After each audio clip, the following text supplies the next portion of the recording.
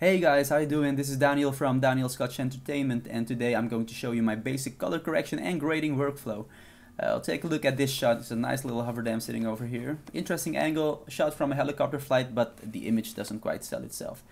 Uh, this shot was taken on, on a Sony a7S with the S-Log 2 profile. As some of you might already know, the S-Log 2 profile or any log profile will get you this nice flat looking image to increase your dynamic range for further color grading. Well, let's take a look at how you can get your image looking from this to that. Well, that's a big difference, right? Okay, let's jump into it and erase the color correction and remove this too. Okay, first let's take a look at the RGB parade. Um, if you're clipping the whites, that means uh, the RGB parade will be over the hundreds, and if you're clipping the blacks, it means the RGB parade will be under the zero and that's not a good thing so we'll avoid that. Um, let's begin with messing with our exposure. Bring down the blacks first.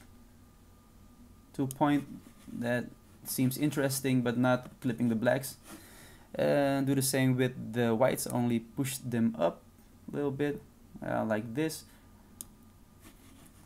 And the midtones let's bring them down to so we can get more contrast in the picture. I like this. Still not clipping the whites still not clipping the blacks. That's a good thing to do. Okay well let's compare this simple adjustments with um, our starting point. This was the start and this is with our minor adjustments. This is basic color correction people. And well let's take a look at the saturation. Uh, first let's boost the global saturation up a little bit and then let's see what the shadows in the saturation does. If we um, bring it down you see it's almost black and white. If you push it up I don't know if you notice it but the water the black water it turns bluish. So well I like it. And the midtones let's bring them down. Let's push them up and see what difference it makes. The mountains they start to live more warmth and more natural looking. And the highlights. See. As you can see if you look at the Hoover Dam at this point the Hoover Dam uh, it almost seems whitish. And if you push it up you can see the yellowish uh, the yellow is starting to show here. I think this looks good for now. And let's compare it from our first picture this was our first picture and this is with our basic color correction, exposure and saturation settings applied on it. And if you want you can go for a, a stylized look. Uh, sometimes it's nice if you want to stylize your look a little bit like the Hollywood blockbuster movies.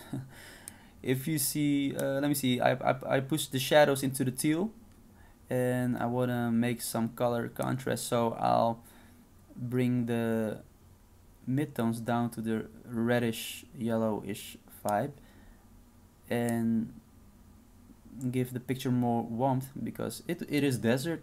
Nevada is a desert so I don't mind to push the highlights into the yellowish orange zone.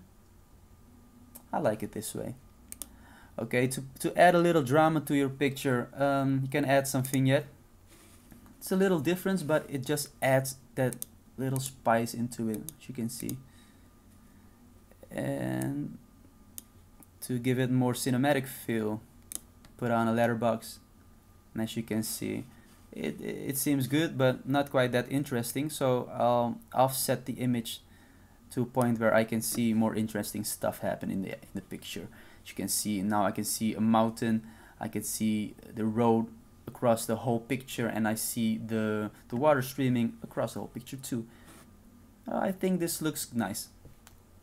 If you found this tutorial helpful, give me a like, subscribe, and if you have any questions or remarks, comments, just comment down below, and I'll, I'll see you soon, man. Cheers.